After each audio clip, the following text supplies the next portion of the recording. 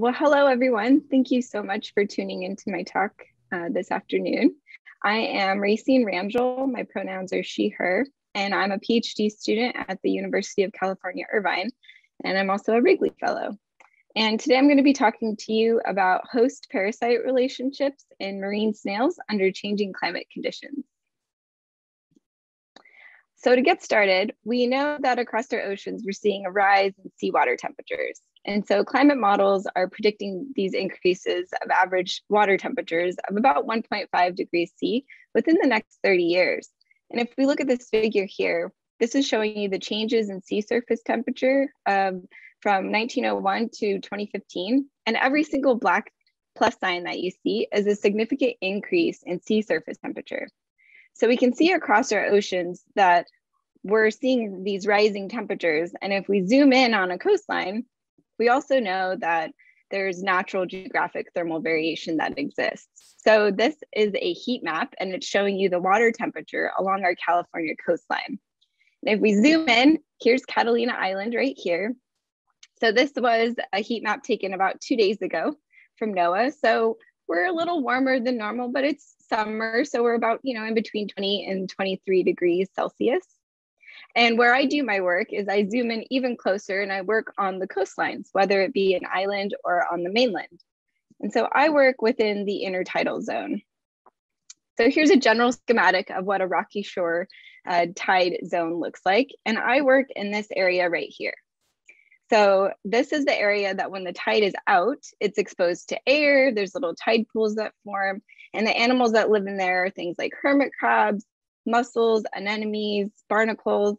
And for this talk, I'm going to be focusing in on periwinkle snails. So what are marine snails? What do they look like? So this is a very close-up picture of a marine snail if you've never seen them that close. Um, you can see the shell here, and then they have a little eye spot, which is right here, and then they have a couple tentacles. So marine snails are mobile, so that means that they move around. Um, they don't zoom around in the intertidal, but they can get around in between pools and they're abundant grazers. So they really like to scrape diatoms or microalgae off of the rocks or munch on their favorite algae within the intertidal and really important prey for a lot of different species, including some humans. And so what do we know about marine snails and increasing temperature? Well, we know that snails are ectotherms. And so this means that their metabolism is closely tied to the water temperature that they're in. So if you look at this little figure here, this is showing you a little snail and this snail has a bunch of energy and that energy needs to get allocated to different processes like metabolism, to their growth, to their reproduction. And so if we add increasing or changing temperature to this equation, we could see a shift in the amount of energy needed to be allocated to things like metabolism. And so this can leave less energy to be allocated to things like growth and reproduction. And so increases in temperature can cause trade-offs between other demographic rates. So things like growth and reproduction. And when we look at marine snails and changing conditions, there's a lot of different relationships that go into this tiny little critter. So we have this little snail here and they have all their physiology that's going on. So things like their metabolism, how they build their shells, and that all translates into their demographic rates or things like growth, their reproduction, how well they survive. And then this is all under the blanket of increasing temperature and ocean acidification. And so these relationships are constantly changing. And marine snails are really weird because they have an added extra layer of complexity where they can get parasites. So this figure here is showing you um, a little snail on a treadmill saying, ah, I'm out of shape, I need to lay off the trematodes because parasites can impact how well those demographic rates are functioning in marine snails. So let's talk about parasites in snails. Um, there are a lot of different steps for parasites to grow and reproduce. It's very complicated. Um, here's a general schematic of how that works. So on the left here in panel A, that's showing you uh, pretty much each step that trematodes have to go through in order for them to live and reproduce. The B panel here is showing you what happens in the snail. So this top part, that's what a snail looks like when it's out of its shell. Um, I was a little disturbed when I first saw this picture. Um, I didn't quite know how twisted their bodies were. Um, so you learn something new every day about your study species. But what this is showing you is it all starts off with a bird, and then the bird poops and it leaves trematode eggs in its feces. And then some poor little snail crawls over that poop and it gets infected with those eggs. And then the trematode parasites start hatching when they're inside of the snail and they start growing and they're moving throughout different regions within the snail and they're getting bigger and bigger. And once they reach a certain size, they then morph into a different um, life form, essentially, of the parasite called cercariae. So it's just like a different stage of the parasite. And then those are released from the snail. So these parasites aren't actually killing the snails. But then what happens is, is those cercariae are released into the water and they can swim on their own. And then they find a fish host. That fish then gets eaten by the bird and the cycle starts all over again. So lots of complicated relationships when we're talking about parasites and snails are just one stop for these trematode parasites in their life cycle. And in particular, this figure here is showing you the invasion threat of new trematode parasites maybe reestablishing in areas that they were once gone from.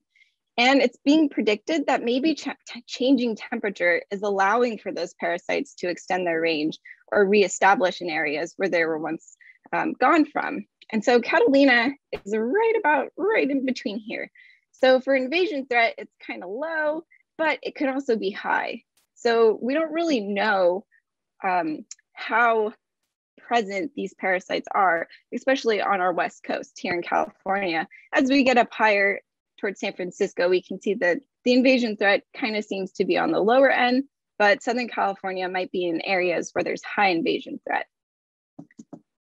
Well, we already know, right, that temperature alone have a lot of different various costs on metabolism, reproduction, and growth for snails. So remembering our figure on this side, right?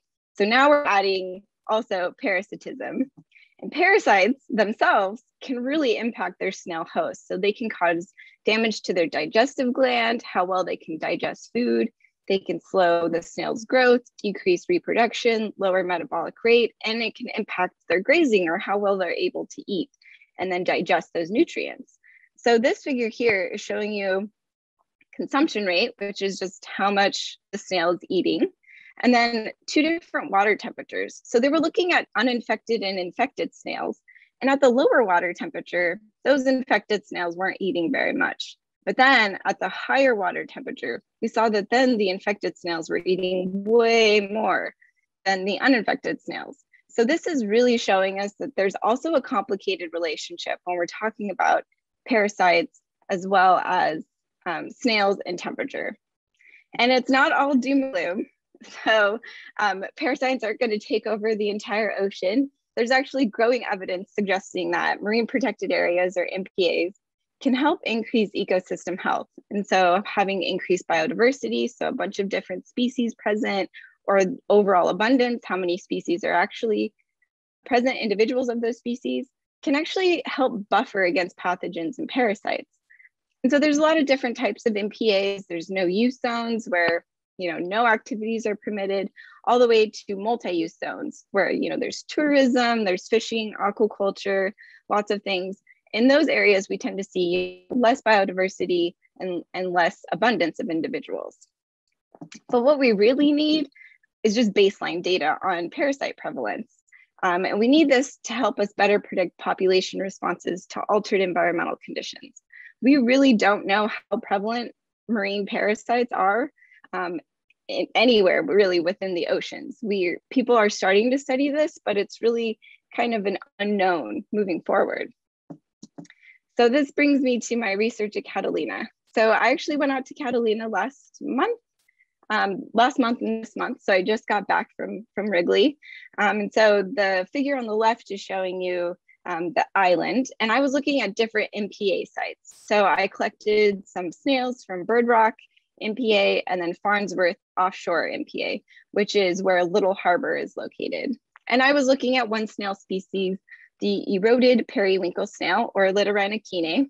And so they're really tiny little snails you can see here. So I went out to Catalina. I collected a bunch of snails. Um, I went out to Bird Rock. It's covered in a lot of bird poop, so it doesn't smell the best. But I collected a bunch of snails and I brought them back into the lab. here's a little video clip of one of my snails underneath the microscope. I was able to watch them move around. You can see their little tentacles and then their little um, foot moving. I kind of think it reminds me of like a little corgi butt. But I took all these snails and I looked at them underneath a microscope. So I call these my little snail condos. And each one was put inside these little petri dishes. And then I stressed them out a little bit with heat. And then that would cause the parasites to shed out of the snails. And then I could count them underneath the microscope, as you can see on that left picture there. But unfortunately, I didn't find any parasites. So I collected and surveyed about 400 snails. I didn't find a single parasite. So no parasites on Catalina. The snails seem to be very healthy. Um, and so I'm going to potentially be investigating other areas on the mainland. And even though I didn't find any parasites on Catalina, that actually opens more questions of you know, where are these parasite heavy locations? Are they on the mainland? Are they on other island chains? Um, and for right now, we're going to keep looking and, and see where we end up in the future. So I want to say thank you to the Wrigley staff and um, I'm open to any questions.